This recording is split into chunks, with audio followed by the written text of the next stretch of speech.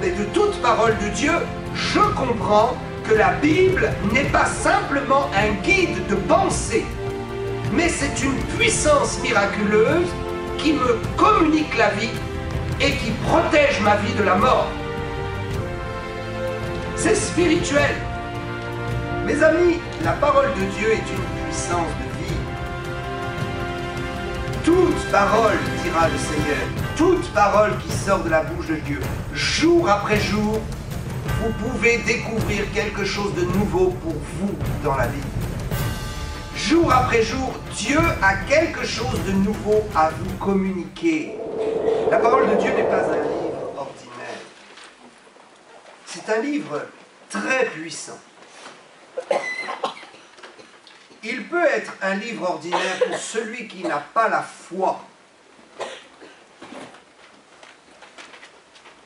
Mais pour ceux qui ont la foi, ce livre devient un livre extraordinaire. Parce qu'il nous révèle tout le plan de Dieu et il nous permet de comprendre, il nous permet de comprendre comment décider dans la vie et sur quels critères nous pouvons faire les bons choix. Tout est une question de choix. Si nous faisons les bons choix, nous réussissons. Si nous faisons les mauvais choix, alors c'est la souffrance, la maladie, la dépression, c'est la chute qui nous guette. C'est pourquoi dans la vie, il faut faire les bons choix. Il y a des mauvais choix qui n'ont que peu de conséquences. Mais il y a des mauvais choix qui laissent des traces pendant des années. Et si nous voulons vraiment éviter de prendre les mauvaises options dans la vie, il faut lire ce livre. Et il faut s'en emparer comme étant la puissance de Dieu pour nous. La parole est puissance et vie. La parole de Dieu communique vraiment la vie. Au-delà de ce qu'elle peut nous donner comme enseignement, elle nous communique spirituellement la vie. Il est écrit que l'homme ne vivra pas de pain seulement, mais de toute parole qui sort de la bouche de Dieu. La parole qui sort de la bouche de Dieu est celle qui a inspiré ceux qui ont écrit la Bible. Et lorsque nous lisons la Bible, nous savons que c'est la parole qui est sortie de Dieu et qui nous a été offerte. Imaginez, le corps a besoin de nourriture pour vivre. La vie est installée dans le corps, mais la vie ne peut pas demeurer dans le corps si le corps n'est pas nourri. Il faut donc alimenter le corps pour que le principe de la vie continue. Si vous voulez que le principe de la vie de Dieu continue dans votre propre existence, il faut lire tous les jours la Bible. Il faut s'en nourrir chaque semaine. Il y a des gens qui ont atteint un certain niveau de joie et de félicité parce qu'ils ont commencé à lire la Bible et ils se sont emparés de ce que la Bible disait pour euh, orienter leur vie et faire de bons choix. Et puis un jour, ils ont fermé la Bible et ils l'ont laissée de côté. Et ils pensent que le fait d'avoir un jour ouvert la Bible leur permettra de demeurer chrétiens et de continuer à entendre la pensée de Dieu. Mais le Seigneur est formel. Nous ne pouvons pas nous priver de la parole de Dieu pendant des jours, des semaines et des mois. Nous ne pouvons pas nous en priver de la même façon que nous ne pouvons priver notre corps de nourriture, car si nous le privons de nourriture, il s'en va inéluctablement vers la mort. La mort spirituelle est authentifiée lorsque nous négligeons de nourrir notre esprit de la parole de Dieu. L'homme ne vivra pas de pain seulement, mais de toute parole. Cela veut dire que la Bible contient en elle-même un principe et un processus de vie. C'est-à-dire que je ne dois pas comprendre que la parole est une nourriture simplement spirituelle comme guide de ma vie. La parole n'est pas un guide spirituel. Autrement, Dieu n'aurait pas dit que nous avions besoin de la parole de Dieu autant que de la nourriture pour la vie. Si nous avons besoin de la parole de Dieu, c'est que la parole de Dieu procure en nous la vie, la bonne santé, l'existence. Je crois qu'il y a moins de morts prématurées dans l'existence des humains pour ceux qui se nourrissent chaque jour de la Bible. Quand je dis mort prématurée, c'est que certains peuvent mourir jeunes, d'autres peuvent mourir à la trentaine, à la quarantaine, alors qu'ils avaient devant eux une brillante carrière, alors qu'ils étaient en bonne santé, alors que Rien ne pouvait annoncer qu'il quitterait cette terre aussitôt. Je crois ce que la Bible dit. Quand la Bible dit l'homme ne vivra pas de pain seulement, mais de toute parole de Dieu, je comprends que la Bible n'est pas simplement un guide de pensée, mais c'est une puissance miraculeuse qui me communique la vie et qui protège ma vie de la mort. C'est spirituel. lorsque je lis la Bible, je peux affirmer que je nourris ma vie. Je ne fais pas simplement euh, prendre, je ne vais pas simplement prendre un conseil. Mais quand le conseil est de Dieu, il produit la vie. Le conseil des hommes ne peut pas produire la vie. Mais le conseil de Dieu a ceci d'extraordinaire, c'est qu'il produit en nous la vie. Quand nous recevons la parole de Dieu dans notre esprit, écoutez bien, un miracle se produit. Nos cellules sont fortifiées.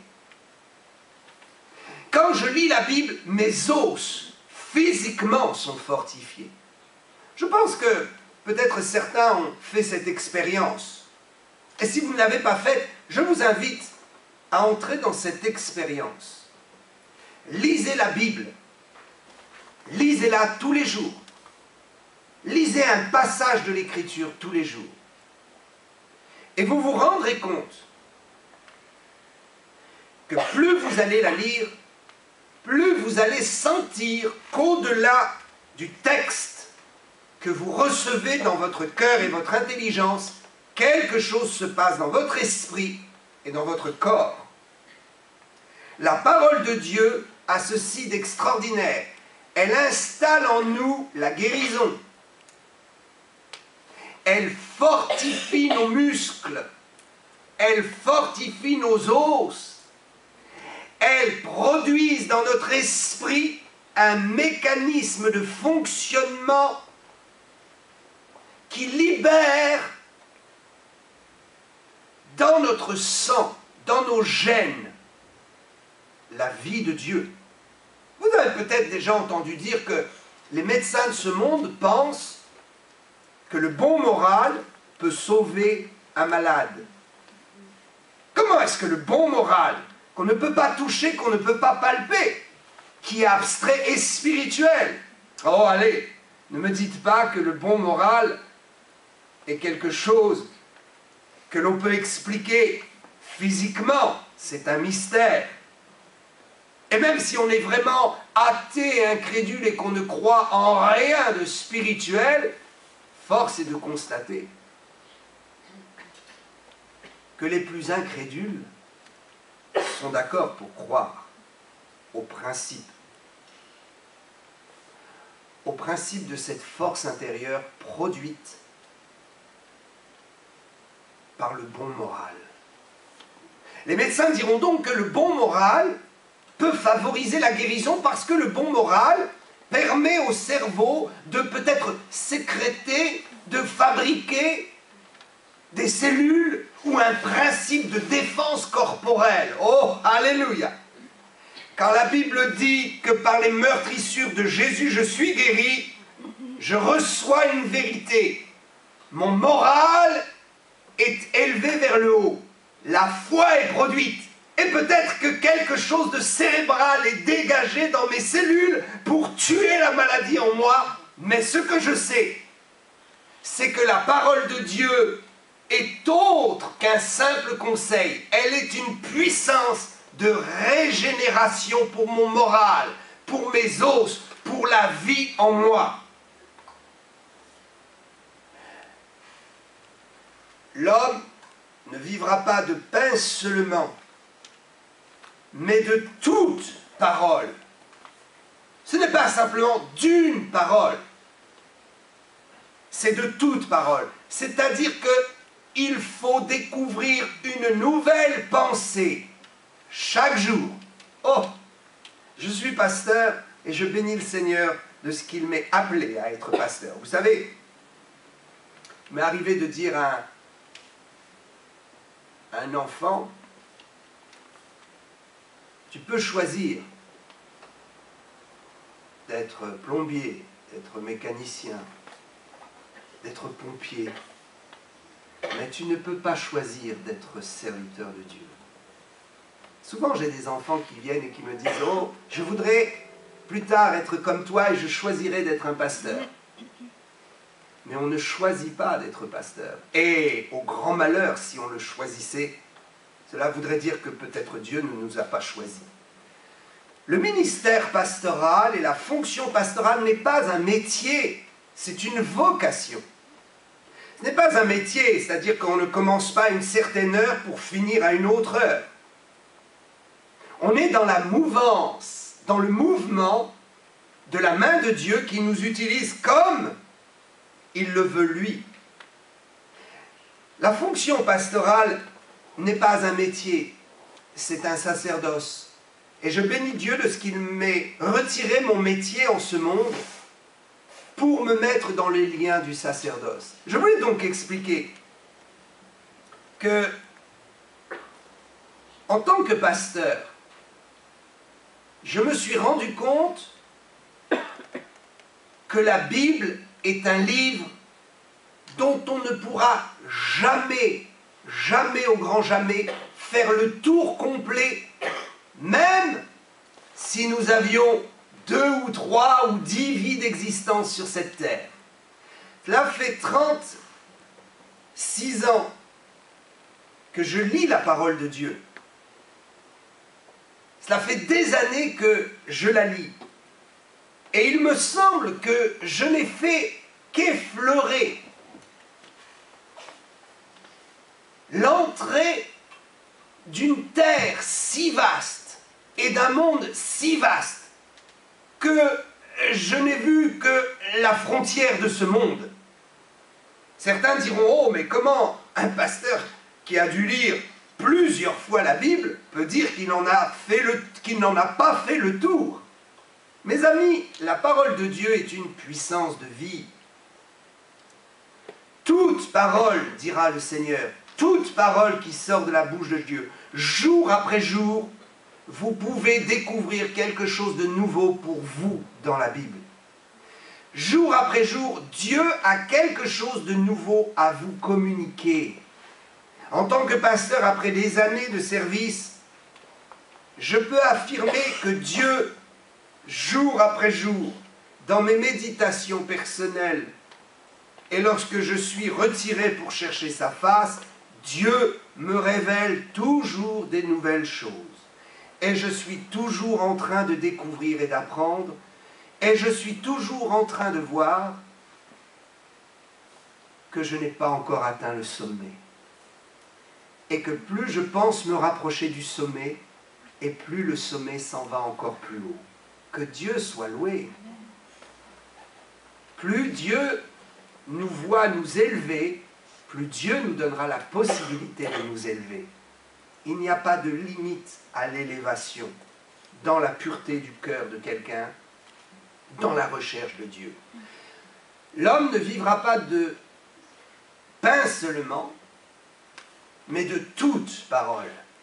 Chaque jour, il y a une bonne, parole pour vous et moi pour découvrir la vie de Dieu et pour conserver la vie en moi, en nous. Je crois que ce qui est puissant dans la parole de Dieu, c'est qu'elle répond à la vérité parfaite. Plus je nourris mon cœur et mon esprit de la vérité, et plus la vie en moi peut s'exprimer. Pourquoi? Parce que la vie, voyez-vous, selon ce que dit la parole de Dieu, la vie c'est le mouvement. Quelqu'un qui n'est plus en mouvement est déjà dans les liens de la mort. Quelqu'un qui se lève le matin et qui n'a plus d'objectif pour sa journée est déjà dans les liens de l'angoisse, de la dépression, de la faillite. La vie, c'est d'entreprendre. La vie, c'est de faire. La vie, c'est de bouger. La vie, c'est de construire. La vie, c'est de pouvoir marcher quelques années, se retourner, regarder derrière et se dire Ah, c'est super ce que j'ai construit là.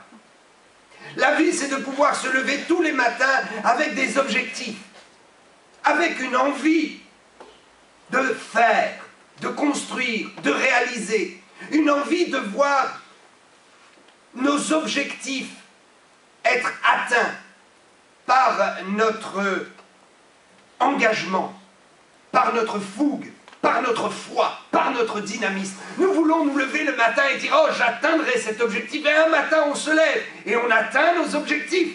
Et ce qui est extraordinaire, c'est que lorsqu'on a atteint des objectifs, Dieu nous en redonne d'autres. Et c'est ainsi que nous construisons. Ceci est très important. L'homme ne vivra pas de pain seulement. Le pain est consommé et il donne une vie physique. Mais la parole de Dieu consommée en nous donne une vie spirituelle, une vie durable, une vie qui entreprend. La parole de Dieu a ceci d'extraordinaire, c'est qu'elle nous communique la vérité. Et quand la vérité nous est communiquée, nous avons envie d'entreprendre parce que nous savons que ce que nous allons entreprendre n'est absolument pas voué à l'échec. Je sais que lorsque je mange un bon plat, lorsque euh, je sais que la, date de consommation de la viande ou du légume que je prends est, est bonne et que je n'ai pas passé la date et que je ne vais pas m'empoisonner, je sais que lorsque le plat est frais, alors il va communiquer dans mon corps de l'énergie et il va être bon pour mon corps. C'est ainsi que lorsque je lis la parole de Dieu et que je m'en nourris, sachant que ce n'est pas une nourriture avariée, ce n'est pas une nourriture qui a péri, ce n'est pas une nourriture qui n'est plus bonne et qui n'est plus valable. Je sais que la date de consommation est toujours valable. Elle sera valable jusqu'à ce que le Seigneur revienne, parce que je sais que la grâce n'a pas de date de fin jusqu'à ce que le Seigneur revienne. Ce qui est extraordinaire, c'est que je sais que je consomme une nourriture qui ne va pas me tuer. Je sais que la parole est vérité. Et quand je la reçois, je sais qu'elle va produire en moi de bonnes intentions. Vous savez, parfois nous lisons des ouvrages et nous ne faisons pas attention, nous, ne sommes pas vigilants sur le fait que ces ouvrages sont déjà périmés depuis longtemps et que dans ces ouvrages il y a du poison. Ne viendrait pas à l'idée de ne pas contrôler une nourriture avant de la manger? On se renseigne un peu, ou on fait confiance à celui qui l'a préparée, on sait qu'il n'y aura pas de poison. Mais parfois il y a des littératures qui sont de véritables poisons et on ne s'inquiète pas de savoir ce que nous lisons. Et on prend tout pour argent comptant. Il y a des littératures qui inspirent au mal, des littératures qui inspirent à la dépression, des, littératures qui ne nous nourrissent pas dans la vie, mais qui nous nourrissent dans le désespoir. Seule la Bible est le livre qui nous nourrit dans l'espoir de la vérité. Oh, quelle chose extraordinaire. Dieu n'a pas changé, n'est-ce pas? Dans Hébreu, au chapitre 13, il est écrit que Dieu est le même, hier, aujourd'hui et éternellement. Au verset 8, Jésus-Christ est le même hier, aujourd'hui et éternellement. Parfois, je me demande d'où vient ce miracle qui fait que lorsque je lis la Bible, je suis encouragé tout le temps. Je ressens la présence de Dieu tout le temps. Je me dis, mais d'où vient ce miracle? Il ne faut pas chercher. Le miracle, c'est que la parole de Dieu est la même, hier, aujourd'hui et pour toujours. Ce que la parole de Dieu a produit hier dans votre vie, elle le produit aujourd'hui. Et ce qu'elle produit de bon aujourd'hui, elle le produira encore demain. La date est toujours valable. La date de consommation est éternelle. Parfois, je me demande comment se produit le miracle. Quelqu'un qui est guéri. Nous avons tellement de bons témoignages, n'est-ce pas, dans notre communauté. Des témoignages puissants, surtout au niveau des cancers. On a entendu quelqu'un qui a témoigné que son cancer est parti miraculeusement dimanche. Et quand je vois comment la guérison s'opère avec simplicité, et comment les corps sont libérés de tous les maux, je me dis, mais d'où vient cette puissance? Comment est-ce possible? Je vais vous le dire. Dieu est le même. Il ne change pas.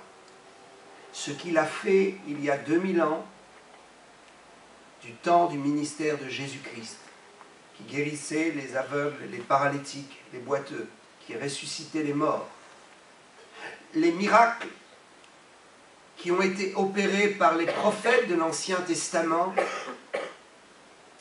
quand l'homme de Dieu ressuscite quelqu'un, ou quand quelqu'un est enterré sur les eaux de l'homme de Dieu et il revit. Nous avons vu ça, n'est-ce pas, les miracles extraordinaires avec Élie et Élisée. Euh, quand nous voyons les miracles extraordinaires, Moïse qui lève la main et la mer rouge s'ouvre. Alléluia. Quand nous levons la main devant une infirmité, la mer rouge continue à s'ouvrir. La personne est libérée de son esclavage et s'en va vers sa terre promise. Comment est-ce que le miracle est-il possible? Parce que la parole de Dieu ne change pas. La parole de Dieu, c'est Christ. Jean nous a très bien exprimé le fait que la parole de Dieu, c'est Jésus-Christ lui-même. La parole de Dieu n'est pas constituée d'un texte. La parole de Dieu est un conseil vivant, une affirmation vivante, un dialogue vivant. Et même si ce dialogue est transcrit par écrit, nous savons que si nous confessons ce qui est écrit, nous rendons audible la parole et nous la rendons vivante. L'homme ne vivra pas de pain seulement, Mais il faut qu'ils vivent de cette parole qui n'est absolument pas périssable. Certains pensent que la Bible c'était bon pour il y a quelques siècles au Moyen Âge. D'autres pensent que cette parole était bonne vers l'an 500 ou 600, lorsque l'Église apostolique et romaine s'est constituée. D'autres iront même plus loin, pourront penser que la Bible était bonne du temps des apôtres et de Jésus, ou de Moïse. Mais la Bible se révèle être un livre éternel, un livre qui ne finit pas de bénir. Jésus-Christ est le même aujourd'hui. Il est le même de ce qu'il était hier. Et il sera le même éternellement. Jean nous décrit cela, n'est-ce pas? Le fait que Jésus soit la parole. Car euh, il dira au commencement était la parole, la parole était avec Dieu et la parole était Dieu et la parole a été faite chair, n'est-ce pas?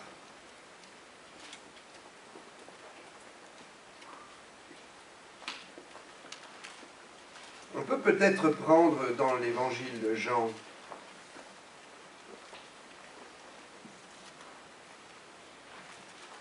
J'aime beaucoup Jean parce qu'il décrit tellement bien la parole. Au commencement, dans l'évangile de Jean, premier chapitre, premier verset, l'apôtre commencera ainsi. Au commencement était la parole, et la parole était avec Dieu. Et la parole était Dieu. Dieu est Dieu le Père, il est Dieu Esprit, et il est Dieu Sauveur. Jésus-Christ le Sauveur et l'Esprit étaient avec Dieu dès le commencement. Dès le commencement, elle était avec Dieu, cette parole. Toutes choses ont été faites par elle, et rien de ce qui a été fait n'a été fait sans elle. En effet, elle était la vie, et la vie était la lumière des hommes. Ah, hein. La parole de Dieu était la vie. Elle est toujours la vie, et elle sera pour toujours la vie. Si dans l'Ancien Testament la parole était loi, pour nous dans le Nouveau Testament elle est devenue grâce. Elle est devenue grâce de vie abondante. La lumière, oh, lui dans les ténèbres et les ténèbres ne l'ont pas reçu. Il y eut un homme envoyé de Dieu et son nom était Jean. Jean nous révèle que la parole de Dieu est lumière. Et nous le savons, dans l'Ancienne Alliance, le psalmiste disait, Ta parole est une lumière sur mon sentier. Mais ce qu'il affirme ici est tellement puissant, tellement puissant. Ce qu'il affirme, ce que l'apôtre affirme ici est tellement puissant. Elle est la vie. Elle est la vie. Si vous voulez vivre vraiment, nourrissez-vous de la parole de Dieu. Ne la laissez pas de côté. Il y a des gens qui veulent se nourrir de la prière des autres. Il y a des gens qui sont tenus en suspens dans leur vie chrétienne par les bras des anciens, par les prières des anciens. Pire, certains sont tenus dans leur vie chrétienne par les bras du pasteur. Mais quand le pasteur n'est plus là, leur vie chrétienne chute. Et si le pasteur meurt ou s'en va ailleurs, ils n'ont plus de vie chrétienne et ils sont perdus. Et ils cherchent une autre église où ils vont trouver un pasteur qui sera dans les mêmes dispositions pour les soutenir. Mais mes amis, ce n'est ni le pasteur, ni les anciens, ni l'église qui soutiendra votre vie spirituelle. C'est la parole de Dieu, celle que vous allez lire jour après jour. C'est elle qui vous donnera les conseils. C'est elle qui vous dirigera. Oh, nul n'est besoin de lire des dizaines de chapitres chaque jour. Si vous pouvez le faire, alléluia. Mais je crois que quand Dieu dit, quand Jésus-Christ dit toute parole qui sort de la bouche de Dieu, nous devons comprendre qu'il y a une parole appropriée pour nous chaque jour et qu'il suffit simplement de lire un texte, quelques versets ou un chapitre pour comprendre que Dieu a une parole pour nous. Oh mes amis, laissons-nous guider par le Saint-Esprit pour lire la parole de Dieu. Laissons-nous guider par le Saint-Esprit pour nous nourrir jour après jour de la parole qui convient pour nous-mêmes. La parole qui convient pour moi n'est peut-être pas la parole qui vous conviendra. Et je peux vous assurer que je prends un réel délice à me nourrir de certaines paroles de Dieu pour moi-même, qui ne sont pas destinées à être partagées. Mon rôle en tant que serviteur de Dieu est d'avoir le souci, toujours le souci, d'apporter un bon message à l'Église et de pouvoir encourager les chrétiens avec une bonne prédication. Mais je me réjouis de ce que Dieu a aussi des paroles pour moi, rien que pour moi. Et que souvent, Dieu ne me parle pas pour le peuple, mais il me parle pour moi-même. Croyez-moi, si en tant que pasteur, Dieu me donne des paroles pour moi et rien que pour moi, pour ma vie personnelle, à combien plus forte raison le fera-t-il pour vous, car vous n'avez pas charge de recevoir des paroles pour enseigner un peuple? Mais peut-être Dieu vous donnera aussi des paroles pour votre prochain. Mais avant de vouloir recevoir des paroles pour les autres, il faut d'abord en recevoir pour soi. Je ne veux pas vous parler de Dieu avant que Dieu ne m'ait parlé de qui il était pour moi. Je ne veux pas vous parler de Dieu avant d'avoir parlé à Dieu de chacune de vos vies. C'est l'inspiration, comprenons, que ce qui produit la vie, c'est l'inspiration. Vous et moi, nous avons besoin d'une inspiration pour nourrir les autres ou pour bénir les autres. C'est ainsi qu'avant de vouloir bénir les autres, il faut prier pour les autres et demander à Dieu qu'il nous donne quelque chose pour les autres. Je ne veux pas venir vers vous en ouvrant la Bible au hasard et en vous donnant quelque chose qui vienne de moi. Je veux que cela vienne du Seigneur. Et pour que cela vienne du Seigneur, il faut d'abord que je discute avec Dieu à propos de l'Église, à propos de chacun d'entre vous. Si vous voulez discuter avec vos enfants, vos maris, vos femmes, si vous voulez leur apporter quelque chose de Dieu, commencez par vous entretenir avec le Seigneur à propos de votre mari, de votre femme ou de vos enfants. Et croyez-moi, Dieu vous inspirera pour que vous receviez une bonne parole pour eux. Mais ce qui est le plus important, c'est que nous puissions d'abord recevoir une parole pour nous. Vous savez, la Bible est claire. Nous ne pouvons pas aimer notre prochain si nous ne nous sommes pas aimés d'abord. Nous ne pouvons pas prendre soin de l'autre si nous n'avons pas d'abord pris soin de nous-mêmes. Oh, que Dieu soit loué. Toutes choses ont été faites par la parole, et rien de ce qui a été fait n'a été fait sans elle.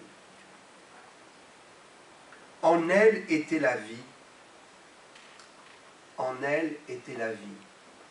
Et je crois que nous pouvons dire qu'en elle demeure la vie éternellement. Car comme je l'ai dit, la parole n'est autre que Jésus-Christ. Il est la parole faite chair. Il est la parole incarnée.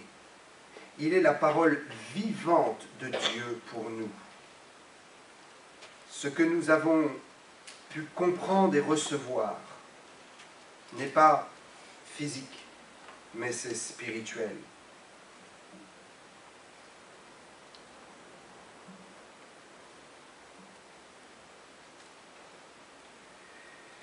Ce qui était au commencement, dans le premier épître de Jean, et je finirai avec ça, ce qui était dès le commencement, ce que nous avons entendu, ce que nous avons vu de nos yeux, ce que nous avons contemplé et que nos mains ont touché concernant la parole de vie. La parole de vie est quelque chose de palpable. Quand nous la recevons, nous recevons la puissance de Dieu et nous pouvons toucher la parole à travers les miracles que Dieu fait, à travers les miracles que nous entreprenons, à travers ce que nous pouvons faire et qui est béni par Dieu. Quand Dieu vous nourrit de sa parole, comme je le disais tout à l'heure, vous êtes enthousiaste pour construire, pour faire, pour que votre vie ne soit pas une vie de oisiveté. Et au moment où vous le faites, vous commencez à toucher de près le produit de la parole de Dieu dans votre vie. Oh, chose extraordinaire. Et la vie a été manifestée, et nous l'avons vue, et nous lui rendons témoignage. Et nous vous annonçons la vie éternelle qui était auprès du Père et qui nous a été manifestée. Alléluia.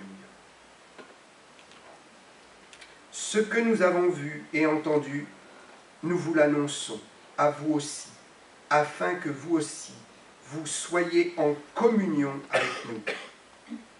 Or, notre communion est avec le Père et avec son Fils, Jésus-Christ. Alléluia. Que Dieu soit loué, que Dieu vous bénisse et que vous puissiez être nourris chaque jour de la vraie parole de Dieu, celle que le Seigneur vous a laissée. Amen. Amen.